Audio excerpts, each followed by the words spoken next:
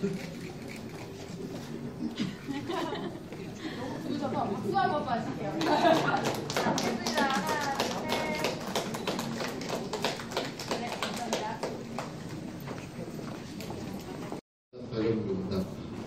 박물관이라기보다는 좀 미술관이 된 날이 아닌가 싶습니다. 아, 오늘부터 박물관, 미술관이 같은 범주에서 어, 정부가 정책을 다루게 되었는데요. 어, 큰 의미가 있다고 생각을 합니다. 올해는 세종 탄생 621돌이죠. 그리고 어, 즉위 600주년을 맞이하는, 뜻깊은 해입니다. 아, 이 같은 해에 우리 한글에 새로운 의미를 더하는 뜻깊은 전시 소리 글자 한글 디자인전을 오늘 선보이게 되어서 무척이나 기쁘고 자랑스럽게 생각을 합니다. 세종께서는 글을 모르는 백성들의 눈높이에 맞춰 단순 명료한 표음 글자 체계인 한글을 만들어 소리의 길을 열었습니다. 한글은 철저히 사용자 관점에 맞춰 기획하고 만들어진 문자죠. 현대 디자인의 본질적 가치와도 맞닿아 있습니다.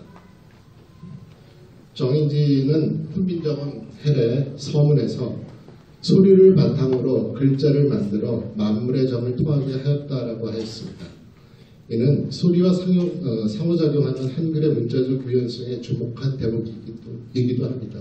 저희 주제, 에, 저희 전시의 주제이기도 하고요. 뒤에 보- 보시는 바와 같이.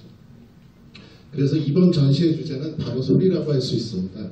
한글의 탄생 원리와 소리를 나타낸 한글 전시를 위해 저희 한글박물관 직원과 참여 작가들이 오랜 시간 동안 협업을 통해 심혈을 기울여서 어, 만들어낸 결과물입니다. 이번 전시는 2016년부터 저희 한글박물관에 역점을 두고 추진해온 한글 실험 프로젝트의 두 번째 전시입니다.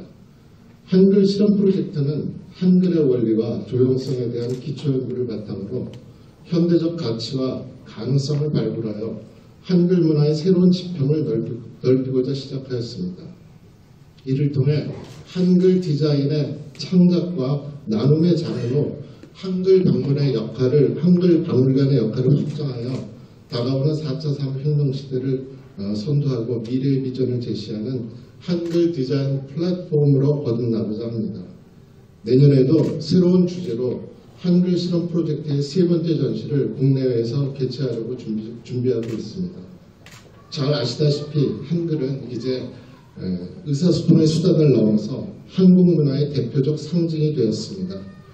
저희 국립한글박물관은 국가 브랜드인 한글의 가치와 한글 문화를 널리 알리고자 앞으로도 다각적인 노력을 기울여 나가겠습니다. 많은 성원을 부탁드립니다.